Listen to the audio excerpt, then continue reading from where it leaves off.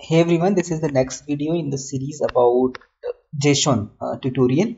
We have looked into introduction syntax and data types and it's time we are covering we are going to cover JSON versus XML there are differences similarities want to see other videos link is in the description box. JSON versus XML so these are the screenshots that I directly have taken from the Wikipedia page of from JSON and XML want to know more about? You can directly go there. So JSON file name is dot json and it is internet type is application json. It is uh, internet type is application xml and xml text xml it is applicable when you are use uh, when you have created the rest endpoint and you want to get the data. You want to call that microservice in that application to get some data over the internet. So that data type internet media type uh, format is this. So you have to give this name. Application json while using json and this xml while using xml okay? So uh, what type is .xml this is the uti confirmation developed by world wide web consortium.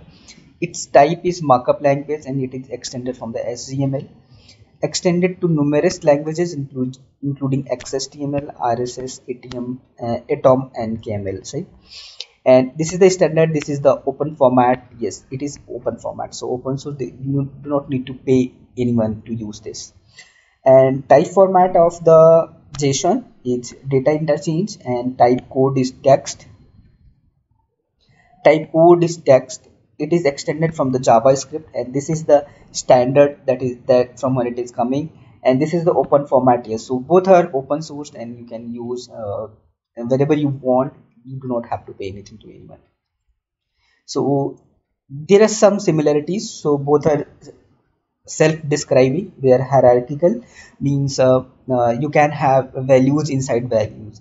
So both are able to parse properly and they are used both are used as data interchange format by many programming languages and they can be fetched using http request. So if you know about the http methods there there are get put post. Different methods are there right? So when you create the rest endpoints rest uh, services uh, which is the trend of the day you get these ones. So you can use xml and json both to interchange the data. What are the differences? Xmls have tags start and end tags. Json does not need any tags.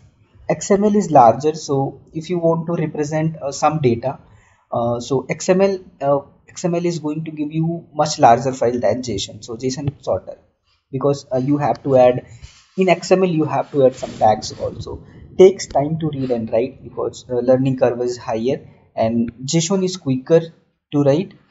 There are no arrays in XML. Can use arrays in JSON. Has to be passed before use. So XML that is uh, you are generating to interchange the data.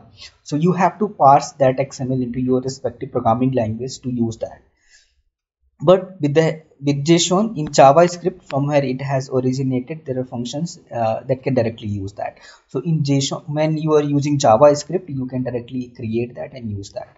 So xml is bit difficult to parse and with respect to json. So json is easily parsable and uh, only little bit code is required for that.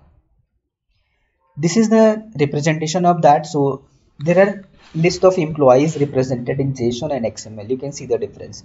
So if you want to represent that in JSON, so you have start with the curly braces and employees. Inside that you have list of employees, array of employees. So the detail of employees include first name and last name. It this is the keys attributes that you have and this John, Anna, Peter, Doe, Smith and Jones. These are the respective values for the JSON right? So see how easily you can read and see that this is for that. So there is no other extra thing here. But in xml you have employees starting tag employees end tag. Inside that you have to repeatedly repeatedly you have to read you have to write employee starting and employee end tag anytime you want to add the that employee. So inside that you need to add first name last name right? So all the time the starting and end tag you have to add that right? So see the how short json example is and how long its xml example. So this these are the some uh, similarities differences and you can decide which one you want to use right? So in my personal opinion uh, json is way way better than xml. So you should start using that. So i'll see you in the next video with the other topic in json right? So till then take care. Bye, -bye.